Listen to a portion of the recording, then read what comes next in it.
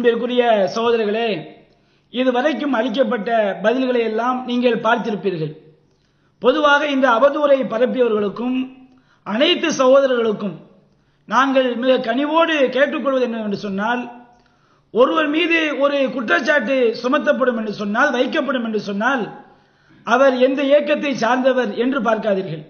அவர் நமக்கு வேண்டியவரா நமக்கு எதிரியா என்றோ கோபத்தோடோ காழ்ப்புணர்ச்சியோடோ அல்லது வேறு எந்த நோக்கத்தையும் நீங்கள் பார்க்காதீர்கள்.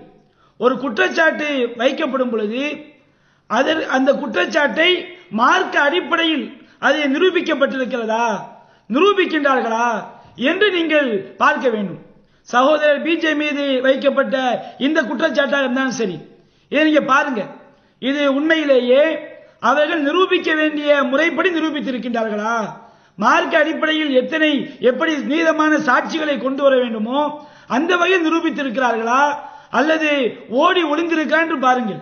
இது போன்ற யார் மீது வைக்கப்பட்டாலும் அந்த குற்றச்சாட்டு மார்க்க அடிப்படையில் அது நிரூபணம் செய்யப்பட்டிருக்கிறதா என்று பாருங்கள். அல்லாஹ் சொல்லக்கூடிய அடிப்படையில் லா எஜிரி மன்னக்கும் ஷனானு கௌமின் அலா அல்லாஹ் தாதிலு ஒரு சமுதாயத்தின் மீது ஒரு கூட்டத்தின் மீது நீங்கள் கொண்டுள்ள வெறுப்பு அவர்களுக்கு நீதம் செலுத்துவதை விட்டு உங்களை தடுத்து விட வேண்டாம் என்று அல்லாஹ் சொல்லி காட்டுகிறான்.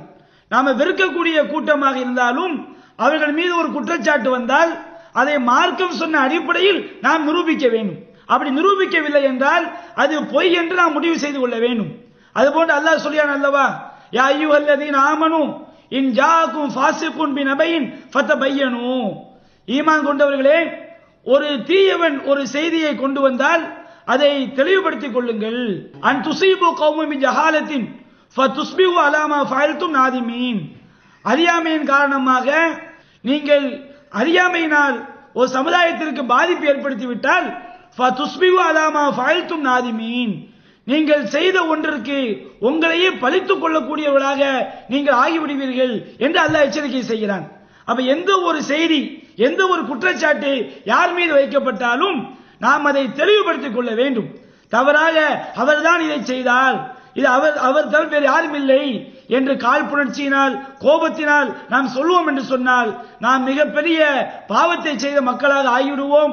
இம்மையிலும் மம்- மறுமையிலும் அது நமக்கு அல்லாவுடைய சாபத்தை பெற்றுத் தரக்கூடியதாக நம்மை நரகத்தில் கொண்டு போய் தள்ளக்கூடிய ஒரு காரியமாக ஆகிவிடும். எனவே எந்த ஒரு விஷயத்திலும் மார்க்க அடிப்படையில் நாம் நடந்து கொள்ள வேண்டும் என்று வேண்டிக் கொண்டவனாக இந்த பதிலுரையை நிறைவு செய்கின்றோம் வாஹு தவானா அல்ஹம்துலில்லாஹி ரப்பில் ஆலமீன் அஸ்ஸலாமு அலைக்கும் வரஹ்மத்துல்லாஹி வபரகாத்துஹு